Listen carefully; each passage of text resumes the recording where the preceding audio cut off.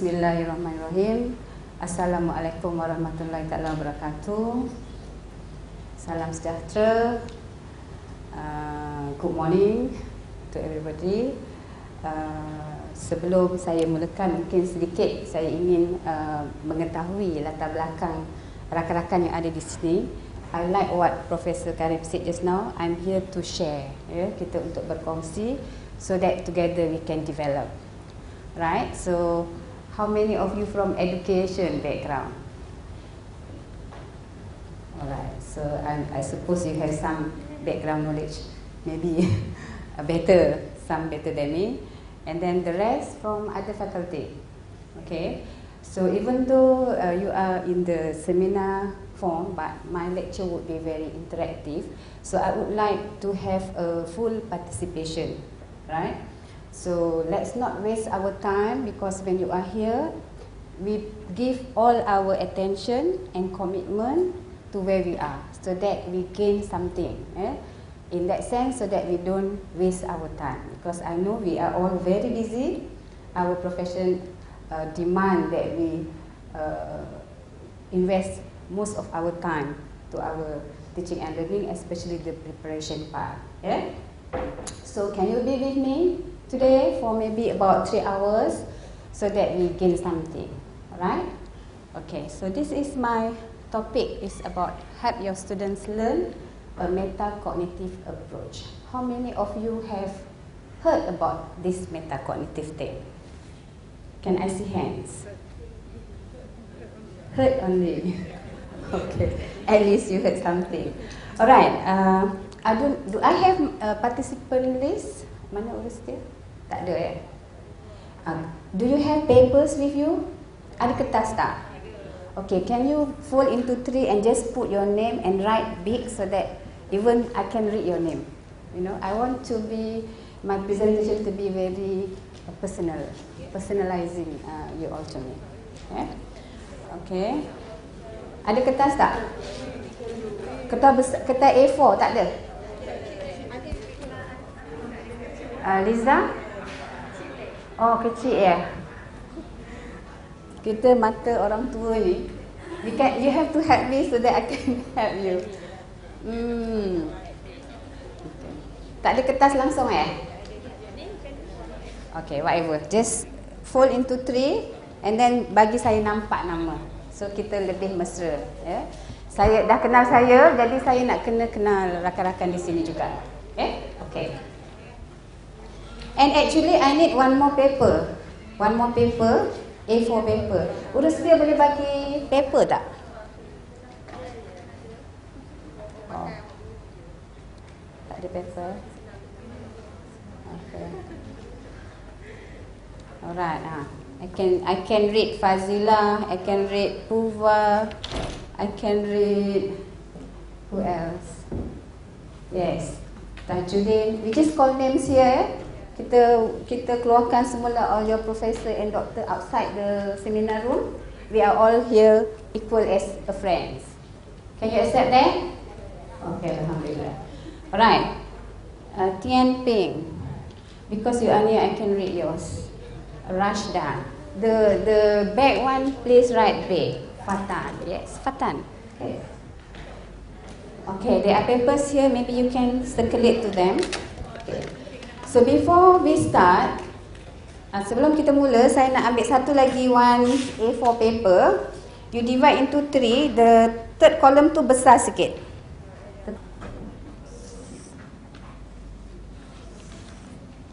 The first column tu tak payah besar. The third column tu besar sikit.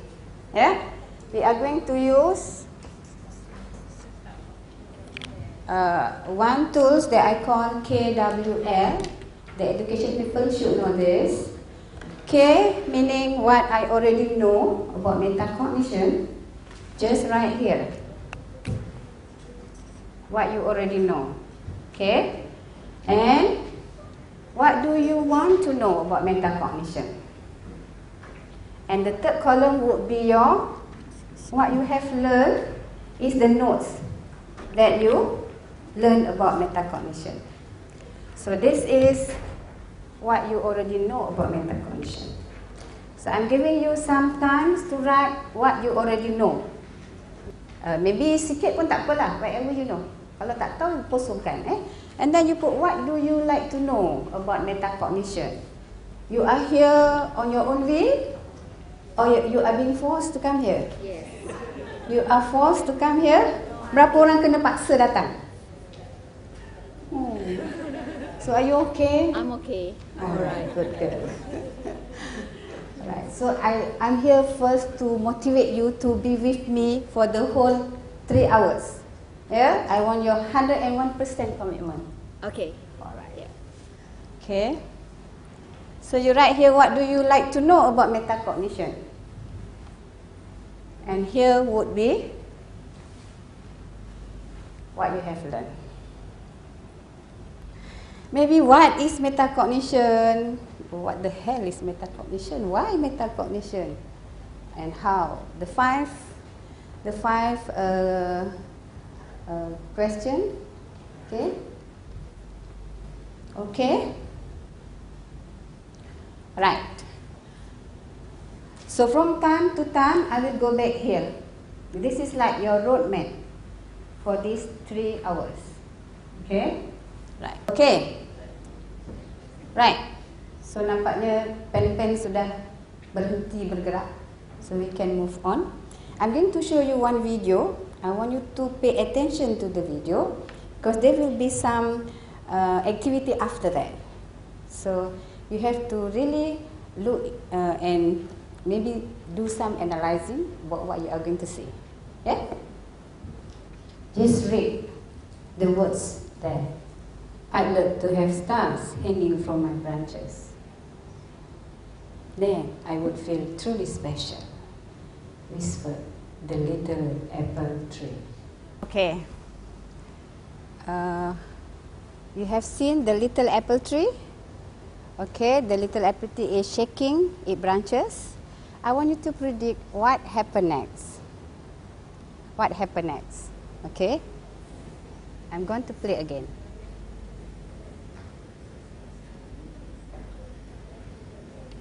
While you were thinking, based on what you saw just now, what happened next? Okay, write down your prediction.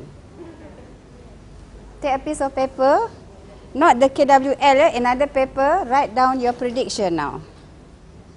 Oh, I forgot my. The question is what happened next after the little apple tree shaking its branches? Okay, what do you think will happen? Are you done? Have you write your prediction? Everybody? Done. Okay. They will see what happened. Okay. Then you compare. Okay. Let's get a few response from you. What is your prediction like? Okay. Uh, you have you have write your prediction kan? So boleh bagi saya beberapa jawapan. Maybe can I start with Fazila?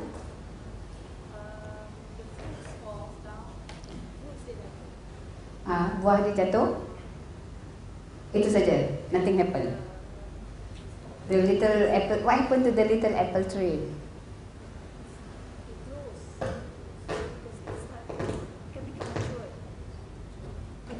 Mature. Alright. So dia kata buah jatuh. What about you? Tian Peng. What happened? The same, I think. Uh, maybe uh, the apple fall down and more apple trees are grown up. The apple fall down and more apple trees will grow up and another apple tree will cry just like the little apple tree. Okay. Do you have a different answer, Zurina?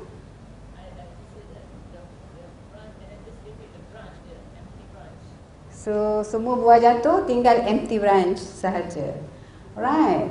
Kat belakang saya tak nampak lah saya. Belakang sekali. What is your name? Ah, you. Ah. Siapa nama? Gani. Yes, Cik Gani. Bukan Gani eh? Zaini. Sorry. yes. What is your prediction?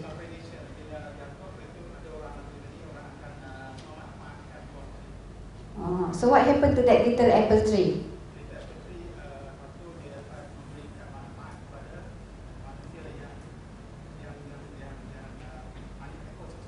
Mm-hmm. Agak-agak dia jumpa tak star dia? Maybe. Any ada yang nak bagi jawapan? Yes. That apple is her stars. What do you mean?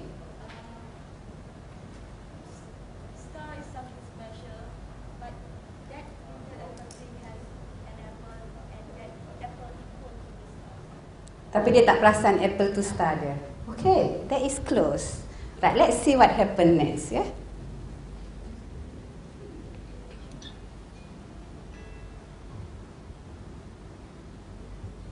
Betul lah, apple jatuh kan? Tapi what happened? They split. Look, said the voice. Look inside yourself. The little apple tree looked down and saw the, that right in the middle of its apple was a star. Okay. A star I have, a star, cries the little apple tree. And the voice laughed gently and said, So, do you, you do have stars on your branches and you just didn't know. Because when we cut the apple into half, you can see the seed in the form of stars, which the apple itself doesn't know that it actually has a star. Right? So let's find your star today. Okay? Is that motivating enough? Can we find our star today? They might be already inside you. You might be already use it, but you don't label it yet. And they say, oh, actually I have done that, but I don't know. Okay? Because there are a few things that actually we think we don't know, but actually we already do it. But we don't put a label to it. Let's see whether you can find your star. Alright? So, That is our ability to know what we have.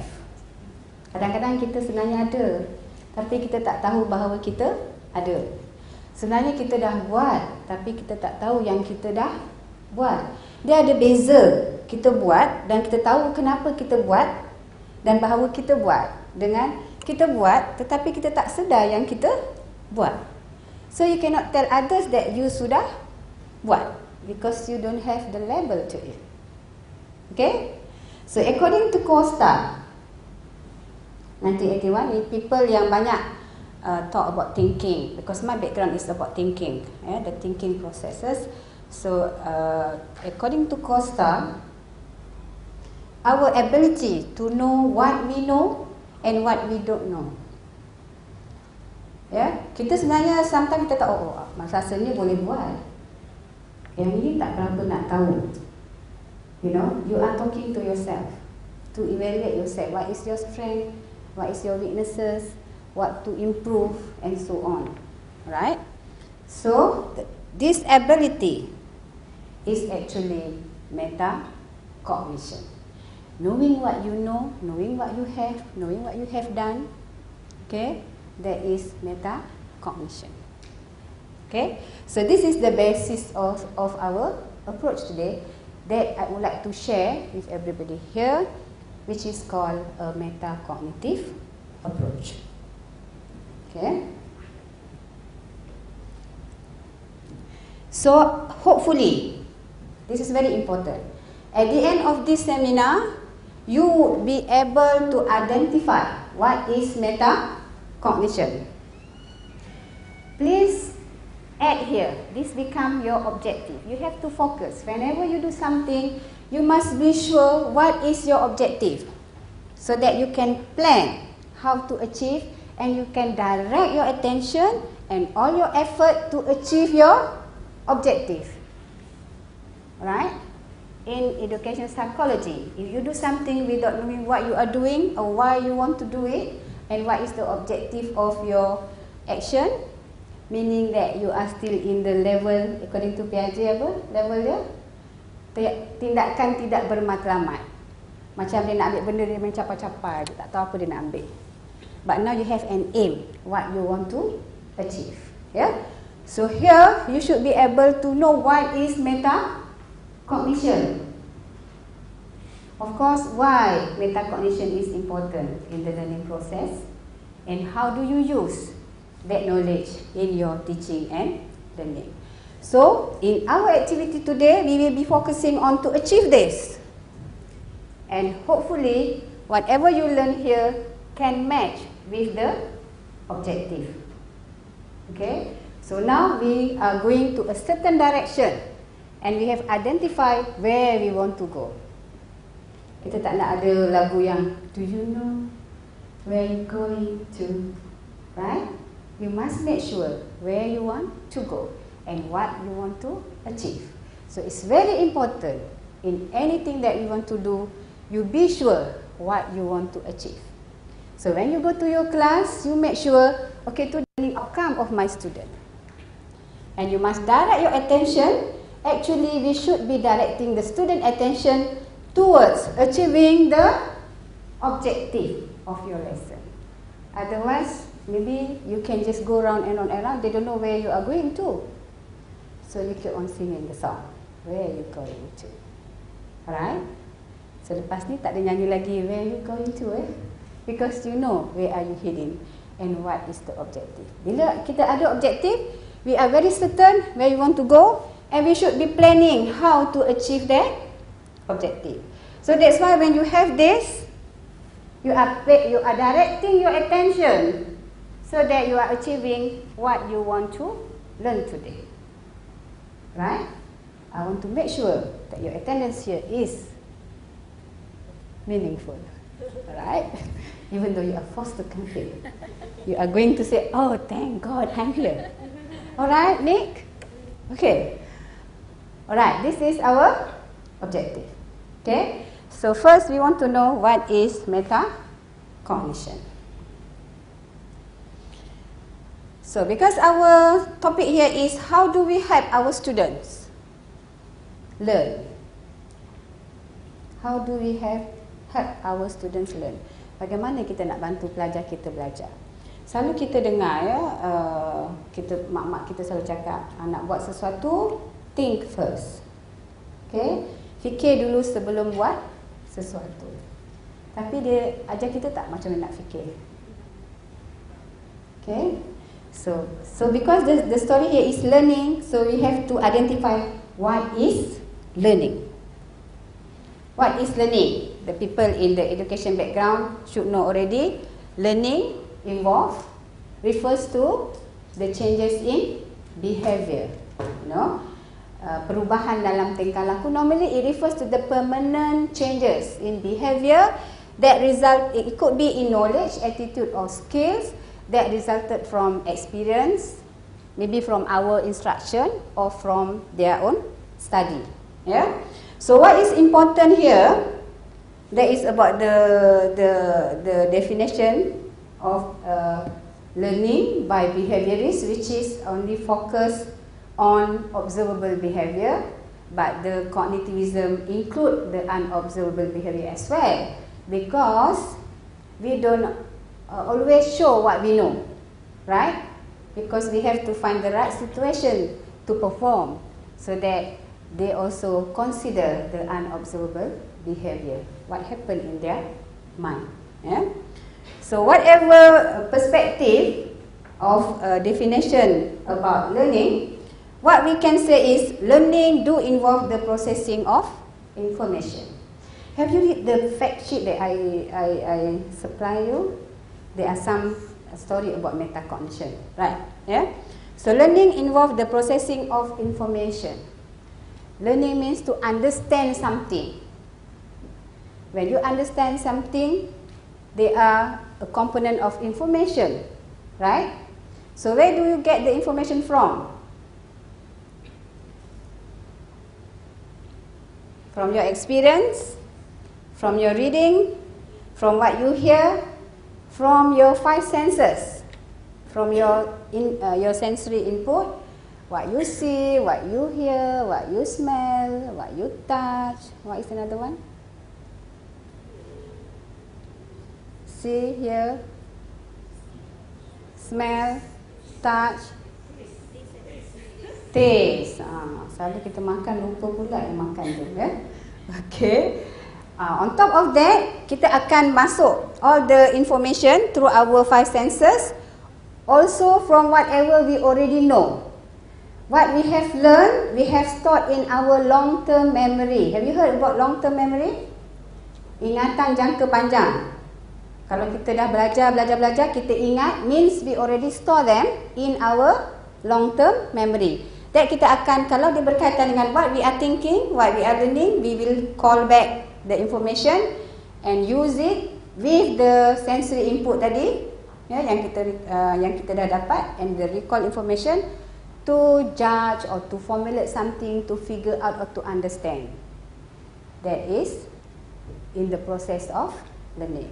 So that means, for that matter, we cannot separate learning from thinking. When you learn, that involves the thinking process. Yes? Yes. Tak. Ada orang belajar tak fikir?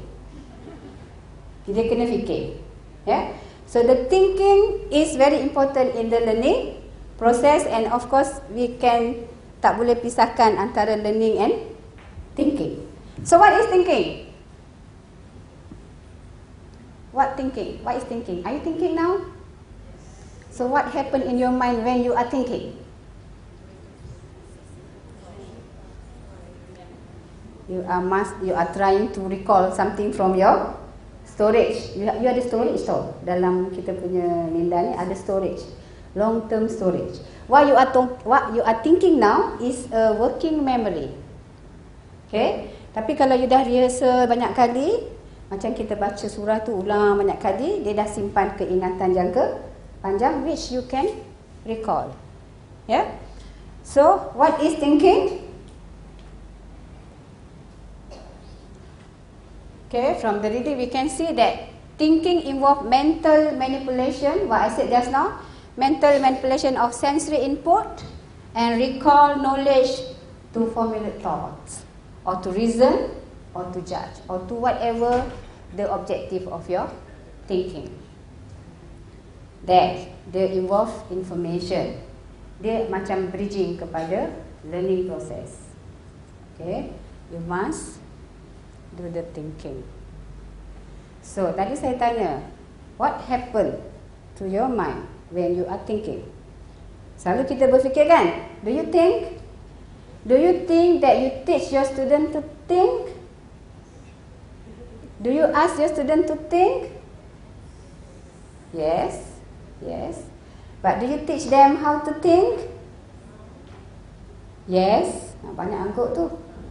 That is very good. Yeah? Okay. According to Bayer, this is a concept of thinking. Yeah? Dia kata, thinking involve three component yang dekat triangle tu. The triangle things. Sorry, I don't have the lupa nak bawa saya punya tu. Focus on the triangle. We have three things. Okay. There is operation, knowledge and disposition. Operation tu refers to the mental operation. Yeah. Uh, knowledge, of course, when you think dia tidak in vacuum, there must be some knowledge involved, like the information tadi kita cakap. Yeah, it can be a general knowledge or a domain specific knowledge, and the disposition ni kita punya kecenderungan untuk berfikir. Whether you are uh, the degree of tolerance to ambiguity is high or not. Okay, whether you want to use uh, enough information before you make a judgment all that sorts of uh, disposition. And these three uh, components uh, will be influenced by the purpose of thinking and also the thinking environment. Where do you think in the context of the thinking and the time or duration of the thinking. So now we are going to focus on the operation. The mental manipulation when you do the thinking. Yeah? So we said that thinking consists of the mental activity that can be described uh, in terms of operation and This operation can be divided into two. One is cognitive and the other is metacognitive. I am sure you have do all the cognitive things. Yeah? When we ask people to, to do something, when you give a task to the student, we ask them to find meaning. You know, all the cognitive strategies is used to find meaning. Yeah? Whereas the metacognitive is actually to direct and control the meaning making strategies. There are two things. One is cognitive, the other is metacognitive. When you ask your student to perform a task, they will use all the cognitive strategies. Okay? For example, you ask them to analyze something. You ask them to compare and contrast. You ask them to give attribute of a certain concept. Alright? They will involve a certain cognitive tools that use a certain skills in the thinking. Yeah? I will show you the the how the, how the thinking operation happen here. Okay, you see the red the red thing. That is the cognition the cognition, the cognition part. When you do the thinking, you are using all those skills. You have to recall the first the first the first circle inside. You are recalling or you are recording something what you see.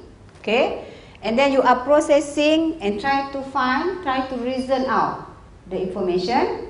There is also a skill. All this is a mental operation, right? And then a bigger circle. See whether you use a critical thinking skills or a creative thinking skill. Do you know about these skills? Critical thinking and creative thinking is a skill, like how to generate ideas, how to evaluate, how to compare and contrast, how to make an inferences. They are the critical thinking skills. Okay?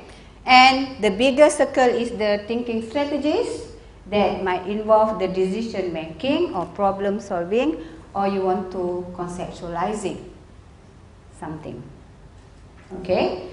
So, the inner part, the, the, the circle inside is actually the micro skill. Do you think that our students have that skills? They do it. We assume that they have it because when we ask them to do something, whether they want or not, they have to do this operation. They have to recall. They have to recall whatever they see. And then they have to process and put some reasoning. Ya, dia kena takulkan benda tu, nak fahamkan what it is. Ya. And then maybe they need to do some critical thinking skill, some creative thinking, and perhaps they have to do some decision making or some problem solving. And all these skill, they have some technique, step by step, how to do it. Right? And the student, you ask them to just do it. Correct?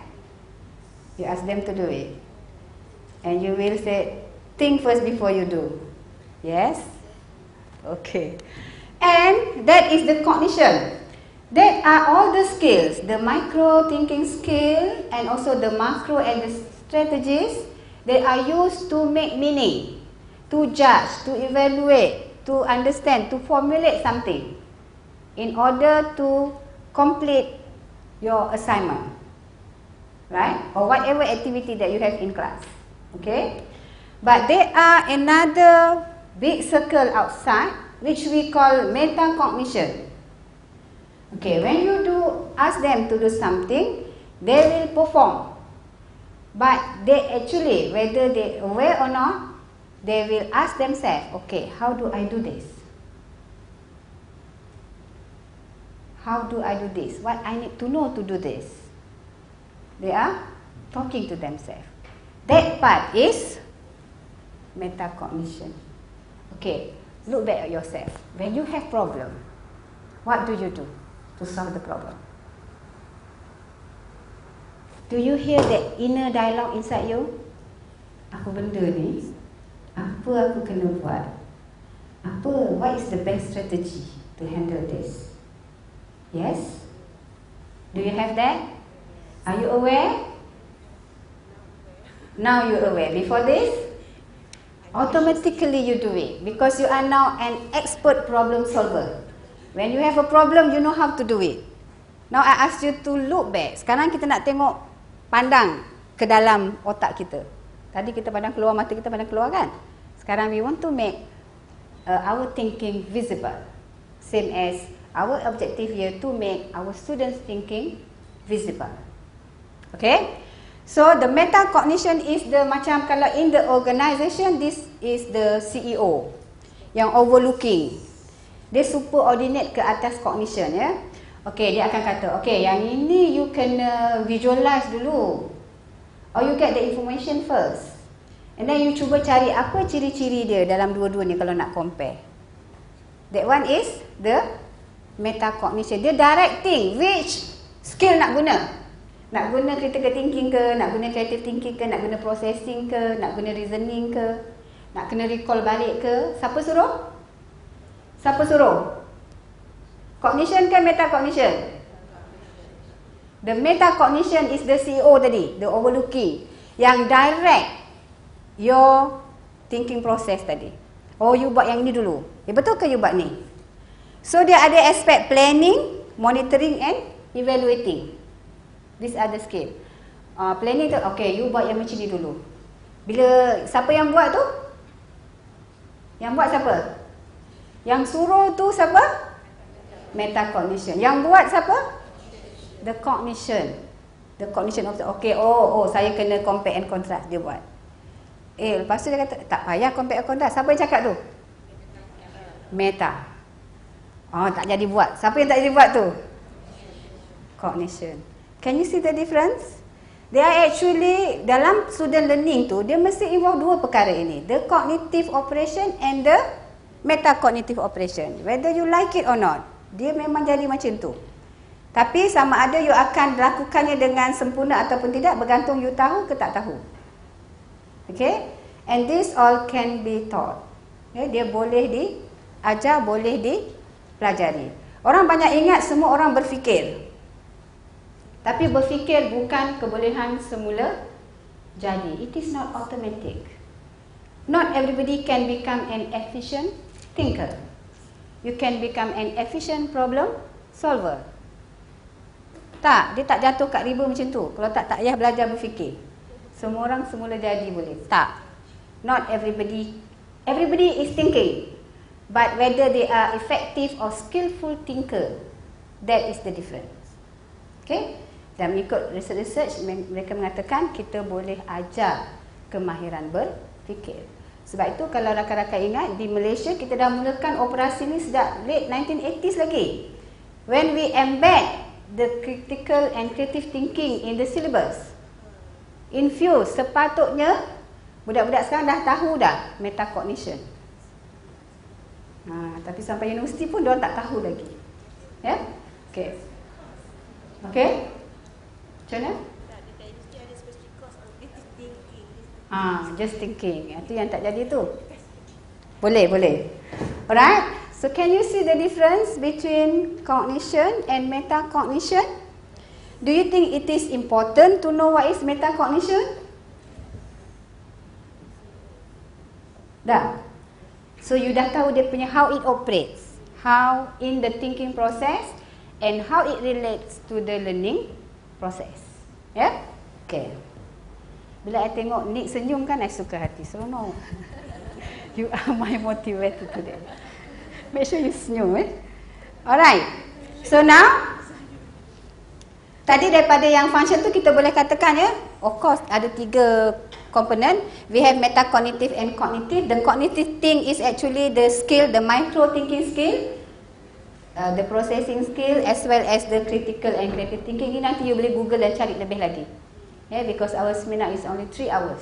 Yeah, I only uh, take the tips of it. Yeah. And then also involve the strategies, that is decision making skill, as well as the problem solving skills. Yeah? And the second part is the metacognitive which study involve three skills. Planning, monitoring and evaluating skills. Yeah?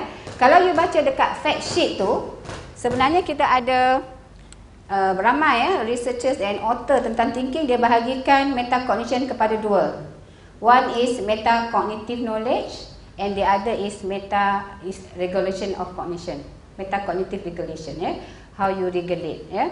So bila kita ada the knowledge tu actually is the cognitive strategies tadi. Kita kena bahagi student ini the range of cognitive strategies. How to do things. Ya? Yeah? Sebab kalau dia tak ada yang strategi tadi, the skills yang ni, critical, creative, processing and the strategies, macam mana dia nak gunakan itu semasa planning, monitoring and evaluate. Ya? Yeah? Semua skill-skill ni dia sepatutnya tahu what, how and when. Uh, orang education dia biasa dengan tiga jenis pengetahuan kan? What is it? That three types of knowledge? Yeah, I heard the answers. Declarative, procedural, and conditional. So when you teach them the strategy, the student should know what it is, how to do it, and when to use it. When they are skillful in these three things, what, how, when, then they can be used for the metacognitive operation to plan, monitor, and evaluate. Does it make sense? So the range of cognitive tools tu dia kena ada. They are doing it but sometimes we don't put a label to it so dia meraba-raba bila nak buat. Dia tak tahu which one is which one. Kadang-kadang dia buat tapi dia tak tahu which one. Ya? Yeah? So kita uh, gunakan balik semula. I hope yang lain pun kita tahu tentang tak payah gunalah perkataan declarative semua-semua tu. Very jargon kan? It's actually what, how and when. Ya? Yeah? Bila kita ajar strategi, apa bendanya, bagaimana nak buat, bila kita nak gunakan. So that dia boleh gunakan the next time when they need to use it. Because they have a label to it. Yeah?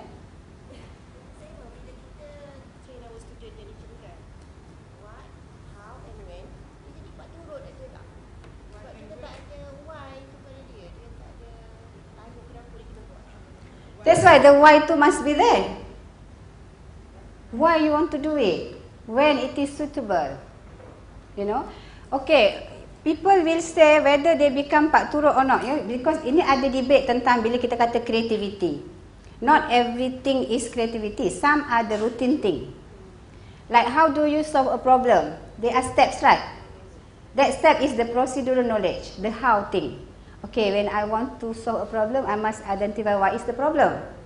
What are the alternative?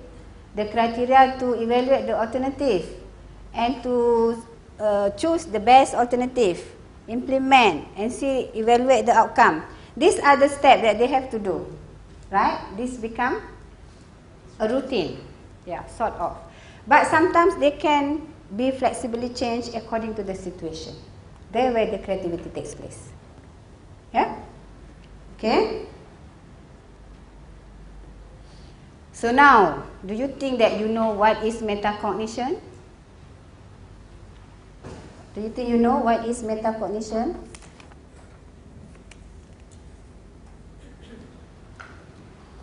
Agak-agak dah boleh bagi definasi dah. Dah ke belum? Do you need some more? Do you need some more about what is metacognition? Belum? Dah ke belum? Belum eh? Sikit lagi. Okay, kadang-kadang orang sebut metacognition is thinking about thinking. Because you be thinking about what you are thinking. Yeah, atau cognition about cognition. Okay. So, boleh tak you, kadang-kadang kan bila kita membaca tu, when you read a page, dah habis satu muka tu, you masih tak tahu apa yang you baca. Apa yang aku baca ni? So what do you do? You go you go back to the first sentence. That mean you know that you tak tahu apa yang you baca. That mean you are aware. That is actually meta cognition. When you ask yourself, oh, apa? What what did I read? That is meta cognition. Because dia dah control. Automatically, dia control your thinking process. Yeah? Okay? So, if you heard that little voice inside your head and say, oh, I don't know what I just read. That is actually, you are monitoring or evaluating. If you take an action to remedy, uh, untuk membaikinya, that means you are doing a meta cognitive strategy. Yeah? So, you know what you don't know and then you read again. That means you are controlling the process and if you involve in this kind of inner dialogue, you are experiencing metacognition. Yeah? So dia sebenarnya rujuk merujuk kepada self awareness tentang kita punya thinking and also learning process. So maknanya bila kita tahu apa yang kita tahu dan tak tahu, kita boleh adjust. Kita boleh ambil tindakan to improve the situation. Right? And dia juga merujuk kepada awareness and control over your own thinking behavior. You aware and you control. Kalau tak faham, you biarkan terus je baca. Tak faham juga baca like you are doing tanpa matlamat. Orang membaca tadi sepatutnya you put an objective. You simply read without putting an objective. Kadang-kadang tengok title tu, dia ada strategi membaca kan. Tengok title you dah agak. What is it about? So I should be able to know what then you look the answer in your reading. Then you can focus. So you punya metacognition boleh menjalankan peranan bila you tahu you punya objektif kat sini. Kan? Itu berbeza dengan santai ni reading lah yeah? but you have to focus what you are looking for. Baru kita boleh dia boleh monitor dan evaluate. Then you boleh betulkan semula situasi yeah? okay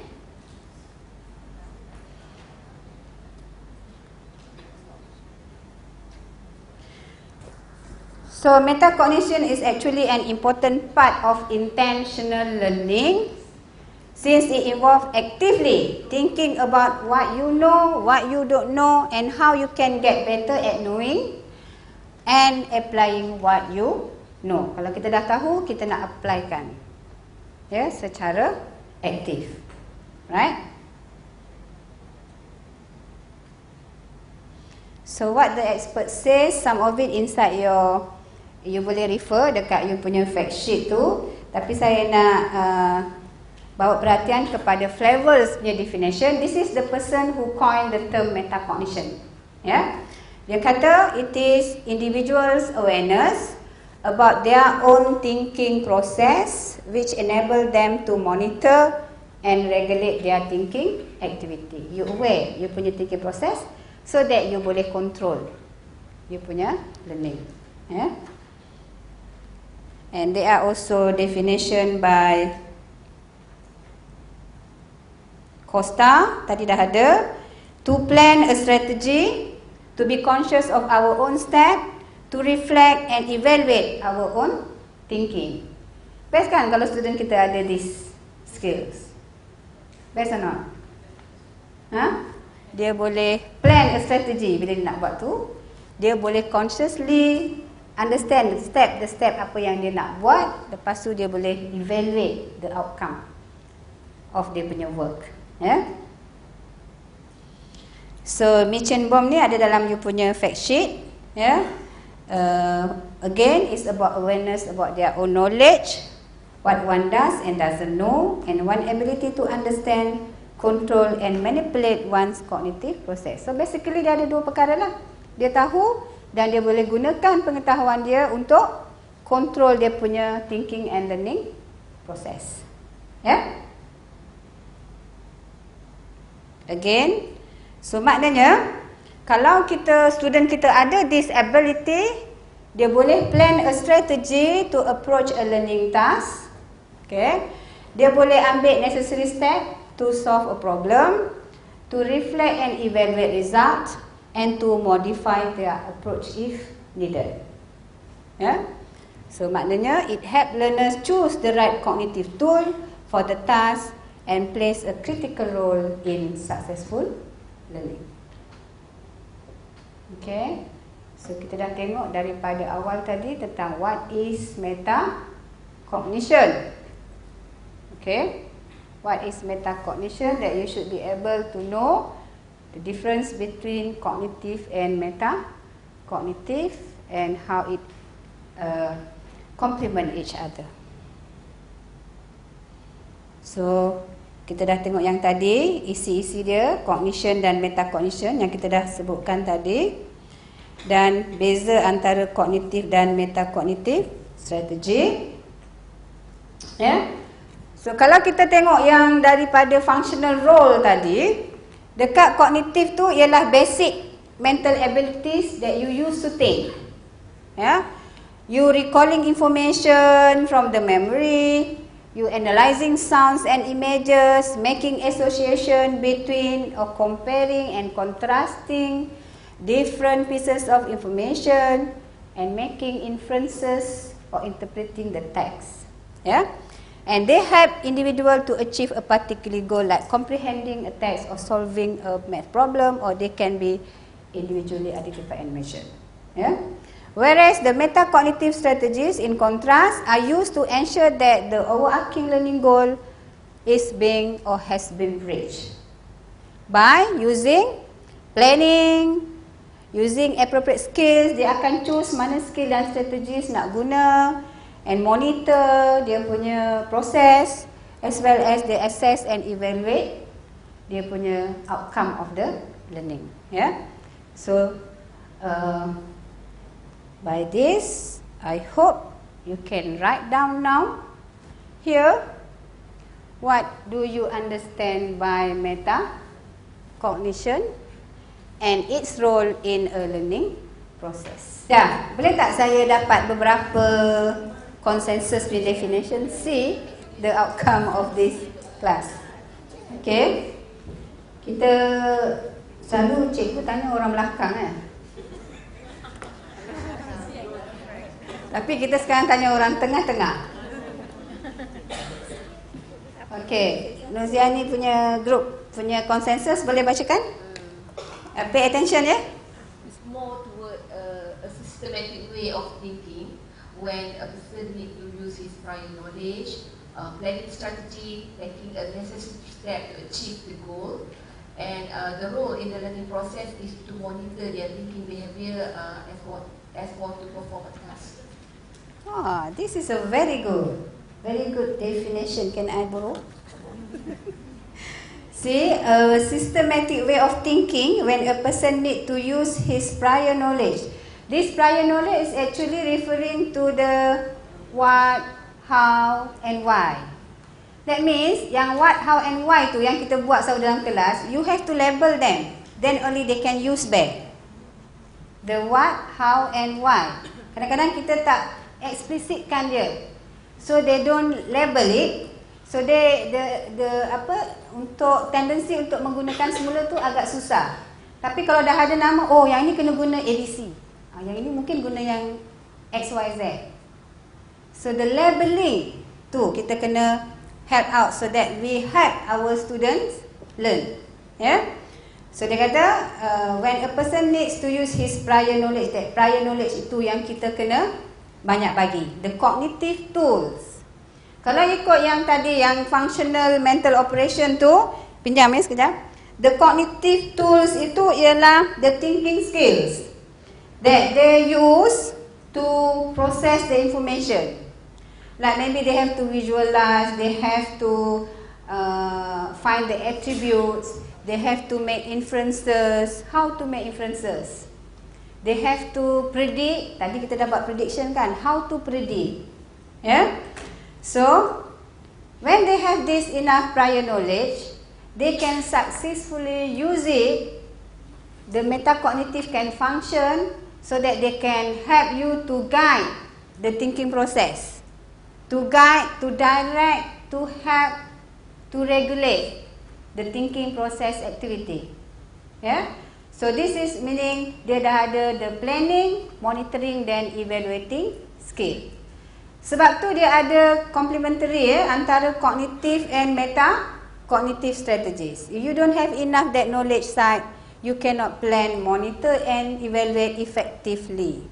Sebab tu kita tak boleh potong-potong bila ajar. Dia kena as a whole. Ya? Yeah?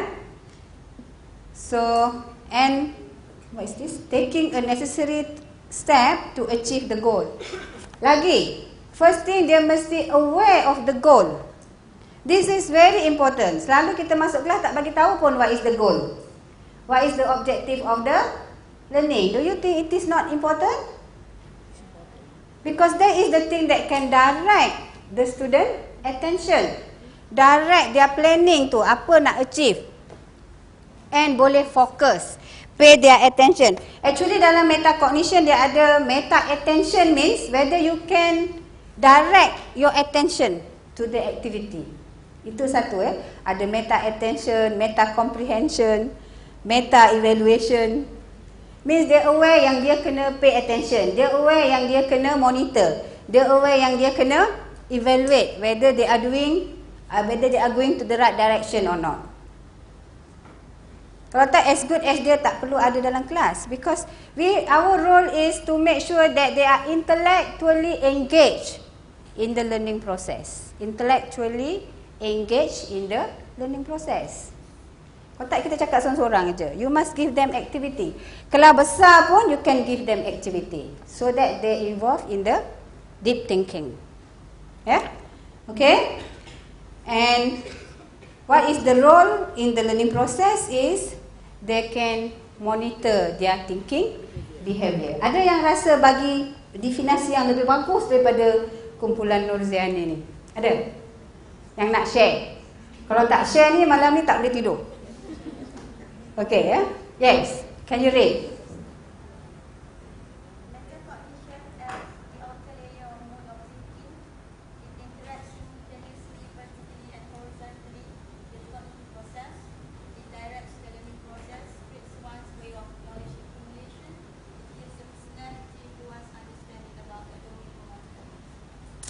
another good definition. Let me have it.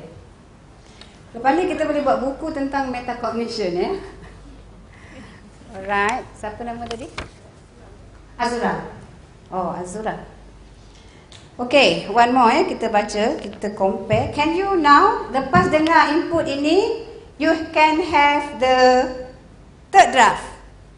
Baiki lagi. Boleh? Baiki lagi you punya definition tadi. After you tahu satu kepala banyak kepala lebih baik daripada satu kepala kan? See if you can take in, take in and then make as your own. Internalize. Internalize means you may, you must understand then only you take. Jangan ambil benda yang kita tak faham. Ya? Yeah? Mana Azura? Yang bawah sekali ya? Uh, as the outer layer mode of thinking. That means tadi saya sebut dia kata superordinate. Dia superordinate macam CEO kan? Superordinate kepada kognitif punya operation. Ya? Yeah? Tapi dia sebut outer layer. Okey tu. It interacts simultaneously, vertically and horizontally. Macam mana tu? Serentak sama ada mendata, eh mendata atau menegak. Menegak tu mendalam lah ya. With cognitive processes. Sebab apa dia kata macam tu? Dia kena pick, guide, direct, regulate the cognitive processes in in the form of supaya kita boleh capai objektif yeah? uh, creates one way of knowledge accommodation. It give what is this? To one's understanding about a domain or multi domain ini dia punya uh, dia punya isi content ya okay? So basically you understand what is metacognition. If i can summarize. Firstly you know dia berinteraksi antara cognitive operation dengan metacognitive operation which the cognitive operation mainly to do the meaning making meaning and the metacognition the outer ataupun meta superordinate kepada cognition yang guide directs and regulate the learning and thinking process. Okay? Can you finish up your definition? Can you say that now you know what is metacognition yes Siapa rasa dia tahu apa metacognition sekarang? Angkat tangan. Ha, masih ragu-ragu? Belum? Yang 50-50 lagi? Yang tak tahu langsung? Ha, yang tak ada tangan? okay, ada yang segan lah tu. So, I think if 80% already know what is metacognition and what is the role in the learning process. Yeah, that is good enough to me. Alright? So now, tadi dalam, I nak you baca kat fact sheet tu ada why, what is the importance of metacognition, nanti baca sendiri ya. What the research say about metacognition. Right? So, we have to go through now how to teach for metacognition. Okay? So for this, I would like you to do another activity. Before that, just now we said whether we want to teach as a single subject or whether we want to infuse throughout the subject. But this is what the research says. Yeah, They said direct instruction how to use metacognition may be not very beneficial because dia akan tengok compartmentalize dan dia tak boleh nak gunakan in the context. That's why dalam kita punya strategi pun in fact dekat kita punya sekolah pun sepatutnya dia infuse. Tapi bila infuse kadang-kadang dia diffuse. Lepas tu hilang langsung. Ya. But if we see the importance of it, we should embed in our teaching and learning. Ya. So So they said when strategies are imposed rather than generated by the student themselves, performance may be impaired. Sebab kita yang kata, you kena buat macam ni, you kena buat macam ni. But this sepatutnya the cognitive to the procedure comes from the student. Kita tak bagi ah. Kalau you nak buat problem solving, you buat macam ni. Kalau decision making, you buat macam ni. It comes from the expert. No. That should come from the student. How do you do it? That's why they guna one technique they call, that's called meta-cognitive reflection. We ask them back, how do you do it? And then we see the step they use and analyze what is the benefit of the step to the achievement of the objective. That's why you bila kita kita suruh dia buat, kita tanya balik, how do you do it? Right? So the next activity would be how do you teach your class? Okay? Can we do this exercise use another paper? Recall one class that you think you deliver the best. Okay. Write down step by step how do you conduct that class. Meaning, first what do you do? Why? Then what do you do? Why? Then what? Why? Until finally I do what? Why? As little as you can but mainly the big idea. Okay? Can we do that now? Another piece of paper and label this as my best class. Ambil satu je and go back to that class and recall what you did in your class. Yeah? Right. Okay, uh, saya ada bagi handout one. Do you print and bring it with you? The witness A, B, C, D. Yes? Okay. Can you please read the witness? A, B, C, and D. And find the attribute of that classroom. The attribute of that classroom. Okay. So in your in your L just now, Kita dah pergi, tadi kita ada satu, dua, tiga kan? How to teach. So there should be, we are accumulating your knowledge on how to teach meta cognition. Alright, uh, tadi kita dah minta, you, now now you are focusing on how to teach ya. Tadi kita dah buat what and why. Yeah, why? Why it is important in the student learning process. Uh, hopefully you dah tahu what is metacognition and why is it important. Now how to teach metacognition? That means how to infuse the metacognitive approach in your own teaching and learning. Yeah. So tadi kita dah minta you. So this side sepatutnya penuh lah kan? Okay. I give one example for the weeknet A there is a climate for thinking, meaning the instructor give the student indication that you should be thinking first before you answer. This is very important. When we give question, we prepare them so that they answer the question before we ask for the answer. Yeah? So selalunya kalau orang psikologi dia akan kata psychology is very important because student punya air muka dan sebagainya you don't ask question and ask for the answer straight away. That is very bad actually. If you do that, it's very bad for the student because tension dia. Dia nak bagi jawapan serta-merta. You must give time for them to think so that it become a culture that they don't simply answer spontaneously. They must think first because they have to gather, recall the information, reason it out, uh, use all the mental operation, the thinking skill important to come up with the question. Yeah? Kalau orang dia boleh jawab straight away je, meaning dia tak gather the information from the you have you need time to recall right recall the information and then read or whatever gather the information to come up with a solution or understanding. Yeah? So for this one, the teacher, the instructor set a climate for thinking. Right? Okay, how about the number two? They also have the climate, right? What do you find? They have the climate also, right? The climate is here plus the skill The micro thinking skill. Kalau you suruh dia predict, you, uh, what did we do just now? I ask you to predict. Yeah? So ada explicit teaching. Ada direct instruction about the thinking skill. Yeah? Right? Ada lagi tak? Dia sebenarnya banyak tapi kita sekarang nak fokus kepada the thinking process saja. Yeah? And number three, dia ada nombor satu, ada nombor dua. Tapi dia ada nombor tiga. Apa dia?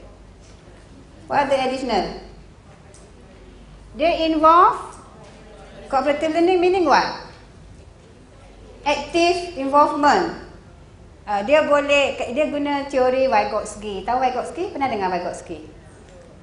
Kalau orang education, kau tak dengar Vygotsky, dia boleh potong tangan dia. Vygotsky said, the learner construct knowledge melalui social interaction. Because dia, sebab tu saya suruh you, you buat you punya sendiri and then you verify, tengok kawan punya, sama ke tidak, apa beza. And then try to internalize apa yang dia punya, apa sama, apa weaknesses, apa strength. To verify your own knowledge. Tapi kalau dalam kelas kita tak boleh biarkan dia dengan kawan dia. Sepatutnya kita proses. Ya, tadi saya proses sikit-sikit kan. Tapi sepatutnya kalau kelas besar pun kita take a few example. Tadi saya ambil one or two because I know all of you supaya semua dah bagus dah. Kan? You have that already. So, dekat sini dia accommodate uh, untuk construction of knowledge melalui social interaction. Yeah? It's very important because dia akan bagi avenue kepada pelajar itu untuk think deeply. Yeah, deep learning. Yeah, the process. Kalau dia tahu dia kena explain pada orang, then make sure dia sendiri kena faham. Sebab dalam learning yang paling efektif ialah to teach other people.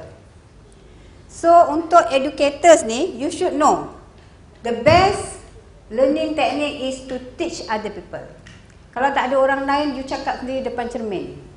Ask your student. Try to explain dekat cermin. If you understand what you explaining, that mean you try, you dah gunakan banyak skills tu. To process, to reason, to judge, to evaluate.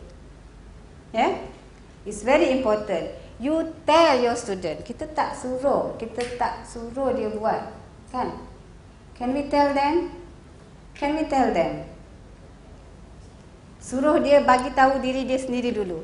You can do this in the class. First give activity, ask them to do it themselves and then ask them to explain to the friend. You you have to make sure you tahu apa yang you explain kan? Betul? Ha, kalau you buat sendiri kadang-kadang you malas. So dia tak terlibat secara aktif. You tak involved, intellectually involved. So by giving that time, macam ni maknanya kita structurekan dia punya cooperative learning itu. Ya. So di sini dia termasukkan dia punya deep learning tadi. The deep learning caranya ialah ask them to share with others, ya. Sebelum tu bagi time untuk dia buat sendiri dulu. Then be confident. Lepas tu bila dia dengan kawan dia, dia berdua-dua dia tak takut sangat daripada dia panggil ke depan. Tapi lepas dia dapat konsensus berdua atau berempat, kita bawa ke depan, do you think that they are more safer, the climate? Salah pun tak apa sebab saya berdua, bukan saya seorang. Kalau you give the accountability kepada seorang saja bagi, lepas tu dia punya tak berapa betul kan? Siapa punya responsibility? Dia rasa very burden. Kan? Nampak tak the psychology of learning tu? You have to embed the psychology. The student punya maruah is very important. Jangan marah-marah dia. Kita puji je selalu. Tetapi kita kena pandai structure kan. So when they have that one, ini kita panggil tak betul, lepas tu kita marah. Tapi you tak ajar dia buat cara yang betul. Ha. Jadi kita ada share lah, share negatif. Kepada student punya development. Ya? Yeah? Alright? So it's very important dekat sini. Climate ada. Kita ada eksplisit tentang thinking-thinking tu. Dan kita juga bagi dia peluang untuk deep learning. Ya? Yeah? Okay. Number four. Apa tu yang last tu? Dia ada reflective. Dia tengok balik. Dia ada recalling process. Ya, apa yang kita buat, evaluate apa yang bagus, apa yang tak bagus, what to be improved. Okey. Kemudian dan ini dia bergerak daripada kognitif kepada meta kognitif. Meta kognitif means dia akan bagi student aware of the learning process. They bring the student attention to the thinking process that they have gone through so that kita encourage them to think about their own thinking. Okay, can you see the four criteria? Now we have four criteria. Here is the metacognitive part. That means you are responsible, uh, you are taking part to make the student aware of their thinking process. How? Kita sudah recall balik how do you do it. See the step. Maybe share dengan kawan. Come up with the best step. And, and evaluate and see what they, they think that can be improved for future use. So itu dia kita dah bagi dia the what, how and why. So that the what, how and why itu boleh digunakan bila dia buat perform the task the next time to plan, monitor and evaluate. Okay? Alright. So can you go back to your list? My best class tadi. I'm not going to rate you. Tak, kita tak tengok semua, kita hanya tengok aspek ini sahaja. Where do you stay? Are you Dr. A or Dr. B? or Dr. C or Dr. D. Can you make a column? See whether you can have this. Ini kebanyakannya ada tak? Mesti ada kan? Tapi ada juga yang tanya soalan terus minta jawapan. Ada? Siapa ada? Cubit diri sendiri sekarang. Cubit diri sendiri. That is very detrimental to the student development. Ya? Dia pun tension tu masuk kelas you. Cikgu ni kan, cik ni. Cik ni kena kena betul-betul sebab mungkin maruah saya akan tercalar. Okey? Ha. So dia akan sembunyilah daripada awak. Bila awak bagi soalan dia akan tunduk sebab dia tak nak pandang muka awak ya. Okay. So give them a time to think. Let them prepare first yeah, before you ask for answer. Sini semua ada? How about this? Do you label your thinking skill? This one is labeling. Okay, tadi kita sebenarnya buat you can you can model your thinking when you do it. Bila kita dia, kita dah bagi tugasan, ha, kalau saya saya buat macam ni. Mula-mula saya buat macam ni, lepas tu macam ni. That is modeling the thinking skill. Ada? Ada? Good. Sini, ha, sini banyak kan yang buat. Tapi kadang-kadang caranya mungkin betul atau tak? Betul. Ada orang buat cooperative learning? Ada? Semua buat. Do you know what is cooperative learning? Kerja kumpulan buat. Ha, kumpulan itu kumpulan tradisional ke kumpulan kooperatif? Kumpulan tradisional tu bagi kerja dan kumpulan gasak kau lah kau nak buat macam mana. Lepas tu present. Ha, so what happen? Dia akan buat division of labor. So they don't learn all. Dia buat division of labor lepas tu cantum, compiling. Yeah? That is not cooperative learning. Lepas ni kita belajar cooperative learning nak? Okay. Alright. So here. And this one, siapa dah buat yang ni, D ni? Tanya balik how do you do it? Belas bedah siasat, apa yang kurang, apa yang betul? Ada. Saya rasa ada yang buat. Tapi you tak sedar itu ialah refleksi metakognisi. Ada kan? Ada, dia segan nak mengaku tu sebab nanti nak kena suruh explain. Yeah? So this yang ini saya adapt dari Fogati ni banyak tulis tentang how to teach metacognition. Dia panggil uh, A ni instructor yang satisfactory. Satisfactory lah sebab dia at least give time to think. Somehow budak akan develop the thinking. Eh? Here is a good instructor. Sebab dia ada juga explicit uh, direct instructional method for thinking skill. This one dia panggil excellent sebab dah masukkan deep learning. So they learn the process.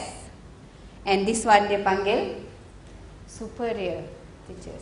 Because they not only teaching for the moment but for the long run. Because in the process the student learn the soft skill. If you remember the MQA domain, the eight domain of MQA outcome learning, do you remember? The knowledge, the practical skills and the six another soft skill kan? One of it is the critical and creative thinking. Do you think you help your student to develop that skill? Tapi kalau kita buat yang ini pun dia ada working in team communication skill right? Confidence leadership that can be covered in this teacher And here dia ada terus kepada line lifelong learning sebab dia can transfer the skill for their uh, future. Right? Okay. So dalam handout yang kedua, ada handout kedua? That is the four dimension of teaching with metacognition. One is teaching for thoughtfulness. Kita suruh dia berfikir. One is teaching of thoughtfulness. Maknanya apa yang dia fikirkan. Third, with thoughtfulness, kita cover termasuklah proses pembinaan makna tadi. Ya, dengan lebih mendalam. And number four, they call teaching about thoughtfulness. That means making the student thinking more visible to them visible by asking them to think back how they do it. I ask you to recall how do you do it step by step. That is actually, what is it? This is actually metacognitive reflection.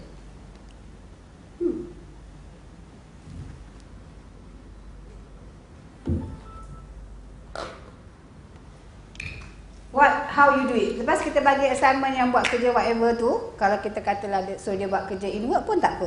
How do you do it? What do you do first? Then kita boleh, uh, that is the processing, the learning process. That means we on, not only concentrate on the content, but as well as the learning process. Kita tak ada learning process as a subject, but in embed. Because these are important in the outcome, the student outcome learning tadi tu, yang soft skill tadi tu. How do you think that you can achieve that soft skill if you don't do this? Right? But make it explicit to them. Otherwise, they know that they they don't know that they have it. Yeah? Okay, so this is example of metacognitive reflection. Okay? So you can now you know you can relate yourself how at what level you are at least maybe you already do this one or this one. One and three at least there. But here maybe you need to uh, see more how you can benefit the student. Yeah, but perhaps you have to see how you can do this and also the metacognitive part. Yeah, not every time you teach you have to put. It depends on the situation. You know, where you not every day you are using the metacognitive reflection, right? Okay, we have another 45 minutes. This we have done this. And this what I'm talking about just now. We have four. You have it in your handout. That means for the four, they are setting the climate. For the teaching of, they have climate plus explicit teaching. And for the with, ada interactive classroom to support student deep thinking. Nanti ni saya bagi ya, the PowerPoint saya bagi. I don't give uh, earlier because this is interactive. Alright? So lepas ni saya akan bagi pada urus setia. Okay? Then you can email to everybody.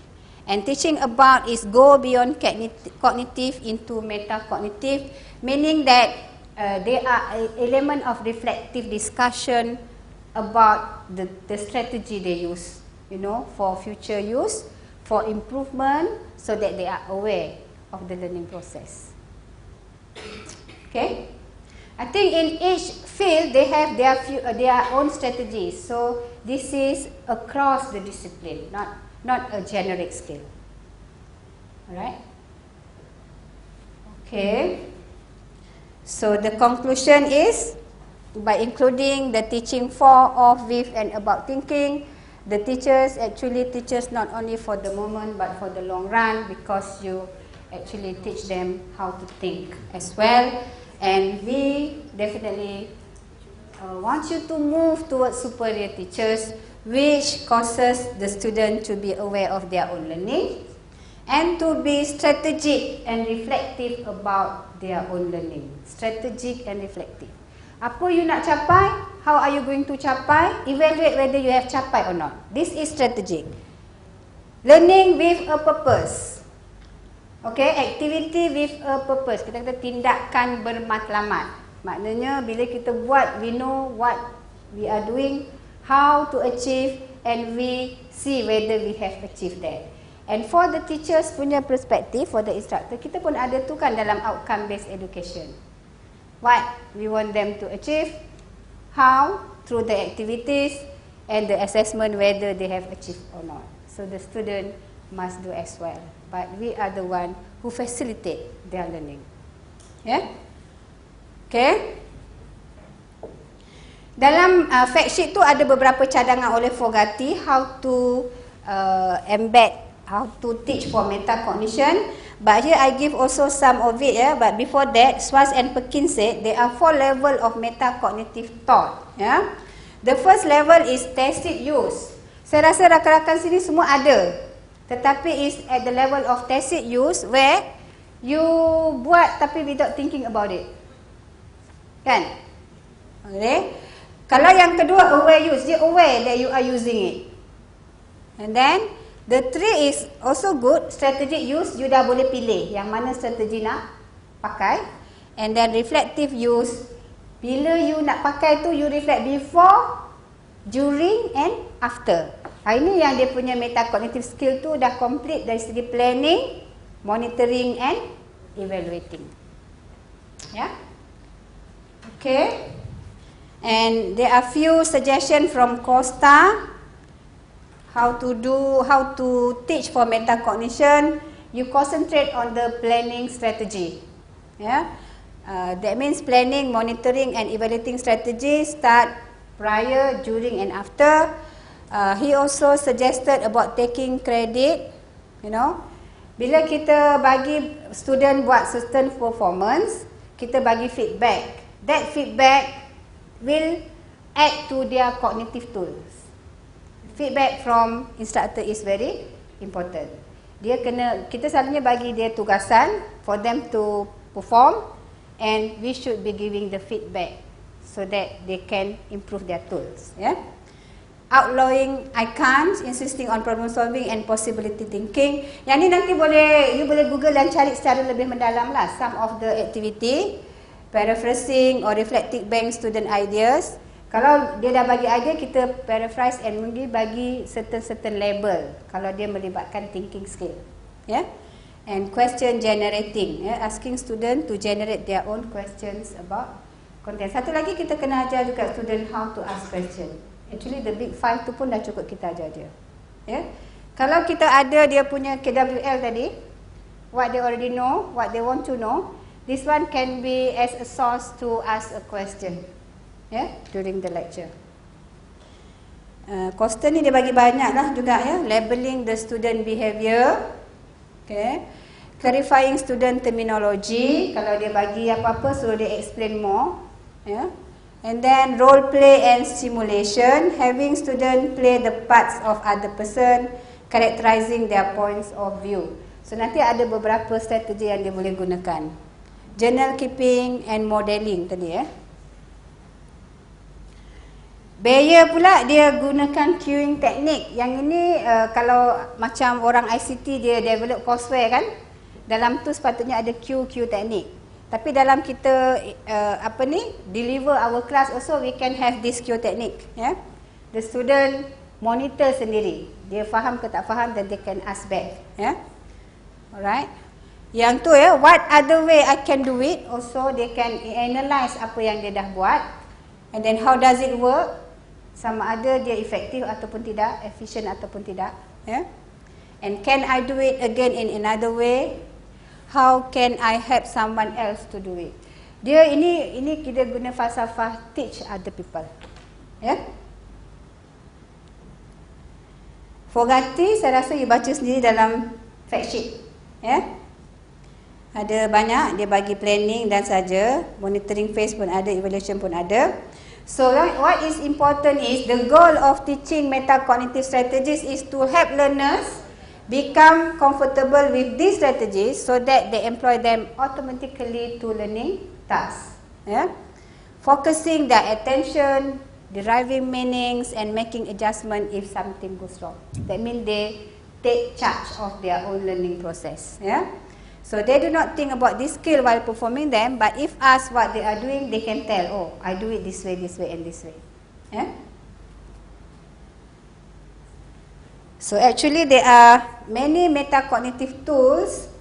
Uh, I don't think I can, uh, but I'm going to show some examples that you can use. Uh, very handy one, handy tools that you can embed in your own teaching and learning. So I would like to start with planning techniques.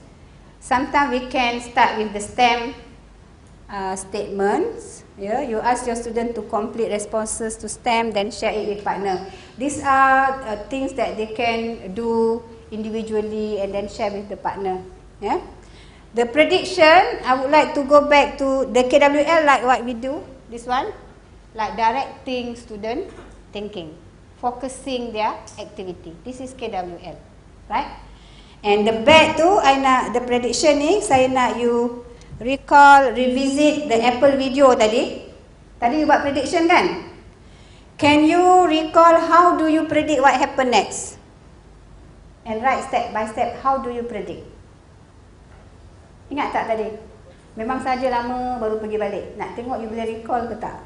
How do you make the prediction tadi? Can you go back to your punya kerja mula-mula tadi? as we start the introduction the video, I ask you to make prediction. I buat tu bukan saya saja nak sampai kat sini. Yeah? So go back to the one recall. How do you make your prediction? Can you write step by step? Yes, still have time.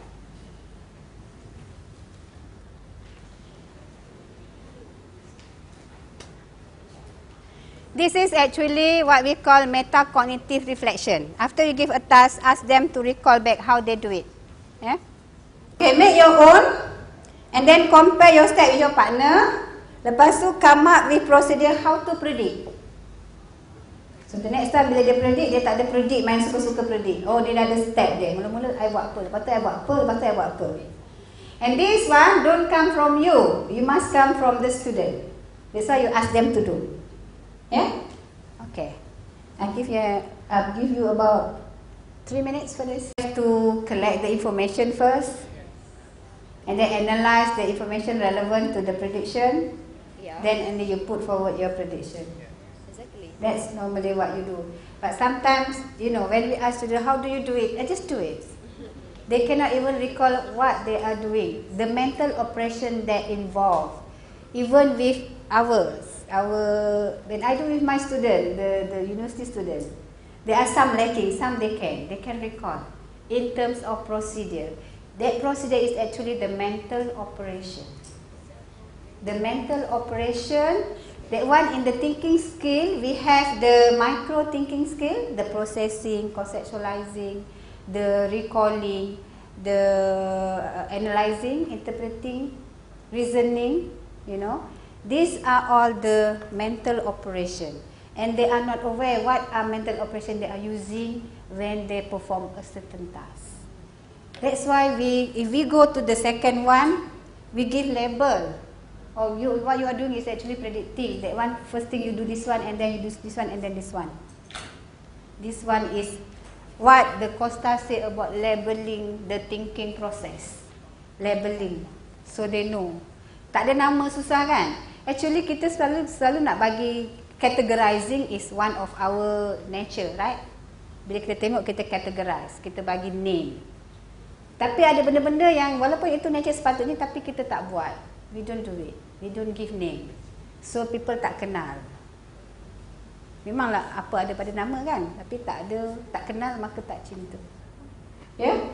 Okay So now start giving names To the behavior Thinking behavior Right So uh, This one In thinking we can say This one uh, Fogati give one They say uh, Ask student to predict what's next They said The acronym is BAE Based on facts or information at hand Same tak? Sama kan?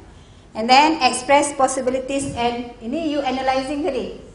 When you analyze, this one the experts say, but whatever the students say actually can be used, can be accepted. Not necessarily nice word like this, but it convey the same meaning.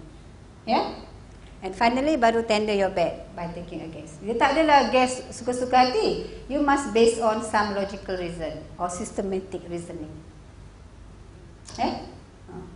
So do you think predicting is important skill in our learning? Yeah? Uh. So maknanya they have this knowledge about predicting, how to predict the disposition. That means you cannot just simply do, you must base on the information and some logical and reasoning. Okay? Can it? Why do we need to predict?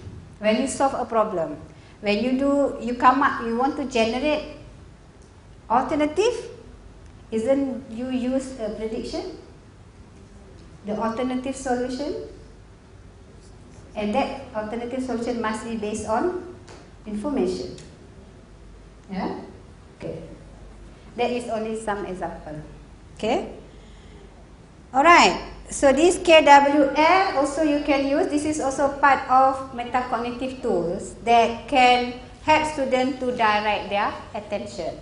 That should can be used before you start your class, like I did KWL. I try.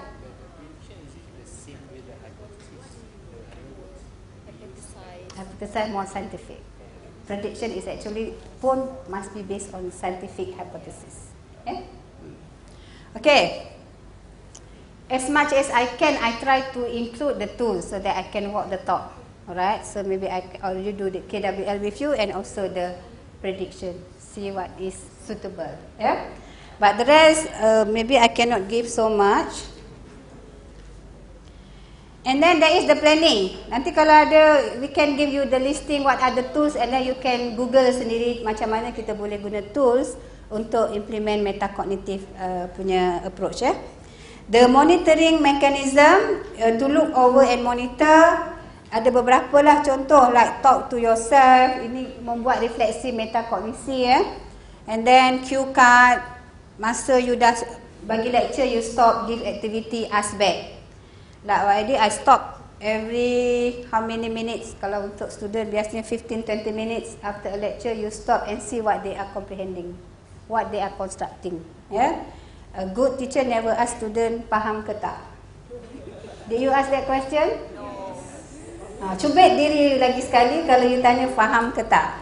you must give them the opportunity to perform and show what they are constructing. This is what constructivism is all about.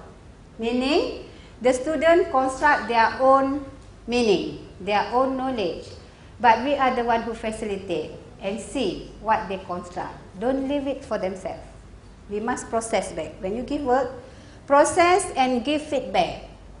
Feedback is very important in learning process. So that they can verify, compare and contrast and analyze. Yeah. So otherwise you wouldn't know. Right? Okay, lastly is the alarm clock. Stop and reflect and stress that student need to stop. This one also, if you use like just now, I stop many times like when I use the KWL so that you are directing their attention to the achievement of the objective. Because from from now, every now and then you keep on telling, okay, what is our objective? Alright? Do you achieve the objective? So the K, the W, the L will direct the attention and see what they are constructing. Yeah? Alright?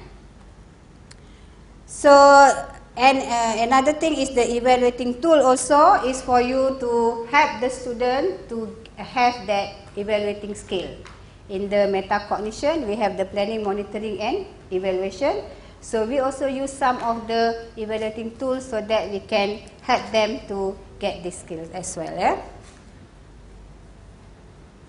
Ini nanti kita bagi ya. Like the big idea.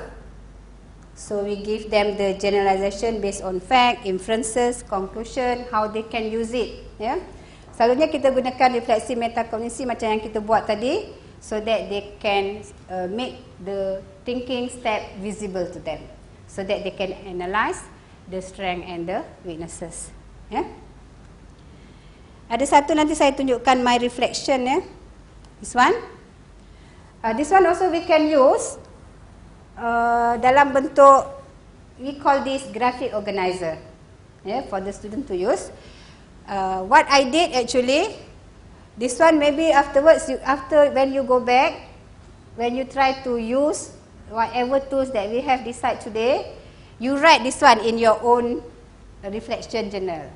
You know, So you see what did you do actually? Okay. And then reflect on the activity, what are the pluses and the minus? And what are the thoughts you have? So that you can improve the next time you want to use the same tools. You know. So same thing with the student, they also can use this. You know, so that whenever they use the same, more or less the same strategy, they can look back at their reflection journal. Yeah.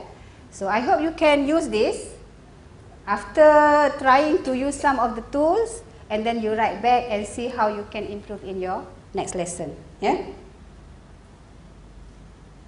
so now we have i have shown you you have recalled back your own class and then we have see the four uh, style of learning according to the metacognition and teaching the satisfactory the good excellent and superior. And then you see whether your teaching have that characteristic. Now, we want to see your performance. Okay, again. I want you to write again based on your own teaching. Can you relate with your reflection just now? Your level, your best class. Your best class, go back to that one, to your reflection and see, identify where in your step just now that you can integrate metacognitive elements in your next lesson. This is your best class. You have the characteristic of A, B, C, D just now, right? And then try to see where you can embed using the same class that you have uh, recorded just now. Yeah? Okay? I can give you another maybe uh, three or five minutes, right? Okay. Uh, I am very sorry. Maybe because some of the tools tu hanya sikit-sikit kita sentuh because this is a seminar like belum bengkel lagi. But within that what we are given and what you have got, maybe you can embed some of it in your teaching and learning and see how it can uh, influence your student learning. Yeah. So boleh tak kita kita ada berapa minit lagi? 10 minit lagi. Uh, I can get one or two. How do you? Five minutes time. Oh, okay. Can we uh, summarize how how you integrate? How are you going to integrate metacognition, uh, metacognitive elements in your next lesson? Anybody? Would you like to share? Uh, I can try. Yeah. Step by step. Mm-hmm. Uh, which one? Which aspect that you want to embed? Which tools you use? Maybe uh, we could use a mind map to ask them to create a mind map uh, for the lessons that we give them so that what they know, and, and also find out uh, what they don't know. Okay. So Tian akan guna mind map to so that the student will be able to show what they already know and what they don't know so that they can uh, more or less uh, come up with a plan how to achieve what they don't know. Eh, what to do. Okay. Ada yang lain mind map. You ambil dari mana tu? Mind map from Fogati. Okay. Ada lain tak? How do you want to embed the metacognitive tools in your lesson so that the student are more aware of their uh, learning process? Anyone? Uh, how come I don't see the names already? You have uh, sabotage ya? Dah buang nama ya? Anybody? Uh, Nozaini, Noziani, Noziani. Can you share? Uh-huh. Reflection. How are you going to do it? Uh, this is my second year that I've used uh, reflection for the assignments. That means you have, they have to reflect what they've done in uh, their learning process. What do you do? What do they do after they do the reflection? They have to go out for the interview, Mm-hmm.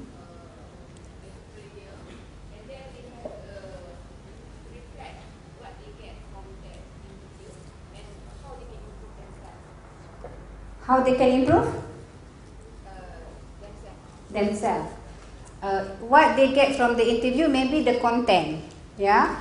But also maybe you can uh, include the process. How do you interview? What are the challenges when you do the interview? Uh, so that they can see the strength and their weaknesses when they use the interview strategy, so that they can improve. The next time they have to use the interview strategy. Yeah. So ma- uh, meaning when you do the reflection, you must make sure that the student can see uh, the strength, the weaknesses, and how they can improve, so that they can improve for the future use. Yeah. Ada lagi? Reflection, mind map, and then Fogati ada bagi banyak. Uh, maybe you can try in the reflection nanti. So how to uh, use metacognitive tools. Actually, uh, sebab masa dah tak ada, I have the closing activity actually. Uh, this one is uh, you can use after you conduct any lesson. Definitely you can ask your uh, participant or your student to list back what skill you have learned. This is very important. So that just now we use the KWL, they can map back yeah, what they have, what they already know, what they want to know, and what they have learned. This is the aspect of what they have learned. Yeah. So I would ask the participant to write back what you have learned from this session. You know, uh, you list uh, as many as you can, and then I would ask you. I don't do the the practical thing. I just give the theory now, and I would ask you to uh, do into the team of four, and then take the four lists and merge so that you learn from each other what you are supposed to learn. And then in here you can make the summary what you have learned about the topic in the session. Yeah? So this is the closing activity. Alright?